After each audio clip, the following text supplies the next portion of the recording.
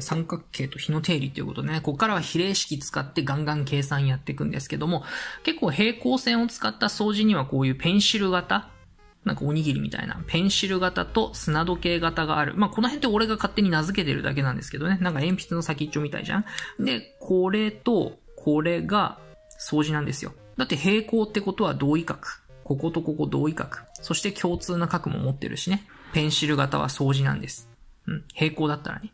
ペンシル型と、あと砂時計型がある。まあ、どう見ても上の方がちっちゃい砂時計なんですけど、ただ平行ってことは、錯角あるじゃん。こことここだよ。Z のくぼみ。それから思いっきり体長角あるから、これ、掃除なんです。二組の角がそれぞれ等しいのね。ペンシル型と砂時計型とかこれから読んでいきます。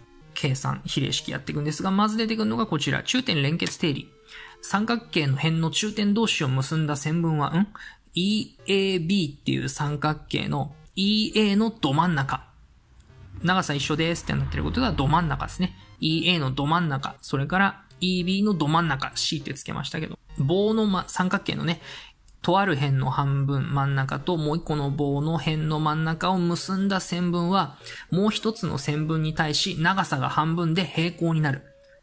この棒と平行になります。真ん中と真ん中、三角形のね、真ん中と真ん中を結んだブシっていうこの棒は、もう一個のこいつですね。こいつの長さ半分で、しかも平行になります。だからこれもし10センチとか言われたらこれ5センチね。中点連結定理よりとかこういうのも証明に使っていけます。平行線と比。まあ、これペンシル型書かしてもらってますけどね。えー、上対下、上対下などのように比例式で表すことができます。ここの X 出しに行きましょう。ここの長さが2、ここの長さが3。8はこっからここって指してもらいました。ま、これもなぞっていくといいっすよね。このちっちゃい上の黒三角とでっかいこの下のね、青三角になってるんですけど、黒が、シャーペンでなぞった黒が青に成長したっていうイメージです。この、この黒三角が青に成長したって感じです。何センチが何センチになりましたか？まずこっち、3センチが8センチにュイって伸びましたよね。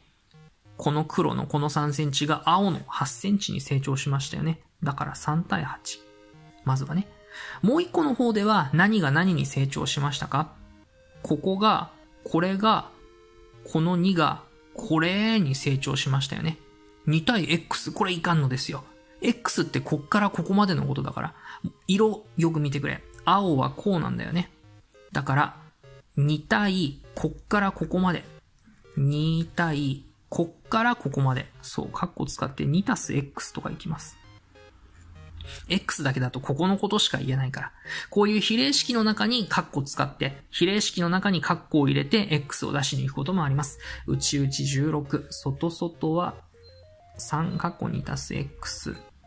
えっと、内々16、外外はあえてカッコ書いてこんな感じ。で、16x イコール6たす 3x。もう分数上等。こっちは 3x、左サイドは10。x は3分の10か。3ちょいってことですね。x こうやってね、カッコ比例式の中にカッコ使ってやっていくこともあります。角の二等分線と比、ちょっとややこしいものもあるんですが、三角形の角の二等分線書いたとき、ここの角を20度20度みたいに角をスパーンって真っ二つにしたとき、その時、この長さ対この長さはまんまここ対ここと同じになります。ここで切り裂いたとき、5対6だよね。5対6っていうのは、ここ対ここも5対6になります。5対6になります。こういう風にあってね。こんな風になって、角度真っ二つに切ったら、A 対 B は C 対 D みたいになるんですよ。この角度真っ二つに切ったからって、こことここの長さが同じになるわけじゃないからね。長さは違うよ。この C と D。今度ここで切ってみてますからね。5対6はこっち対こっち。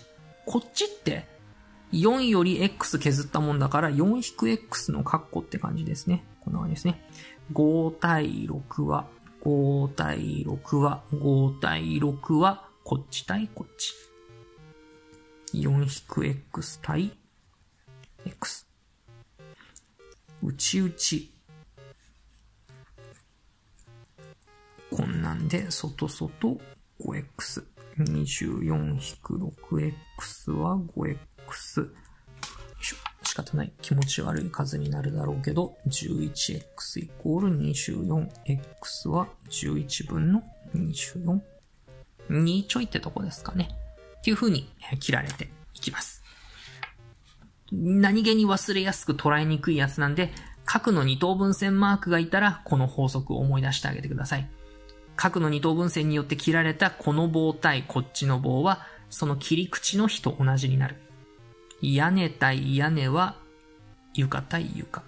屋根対屋根は、この三角屋根のね、屋根対屋根は床対床になるんですよと。ちょっとどさくさに紛れてテストで出てくるかもしれないんで、計算して出せるようになってあげといてください。